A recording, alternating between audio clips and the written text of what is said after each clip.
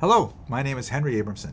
I serve as a dean at Touro University, and I'm especially proud of a new program that we will be initiating in sonography at Machon L'Parnasa Institute for Professional Studies. I'd like to invite you to participate in a webinar where we will discuss the sonography program, describe the benefits of going into this exciting new field, and you can learn a lot more about the program itself. Please click on the link provided to RSVP for this webinar.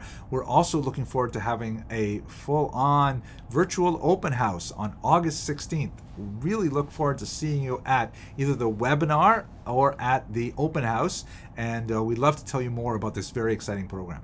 Thank you for watching this short video.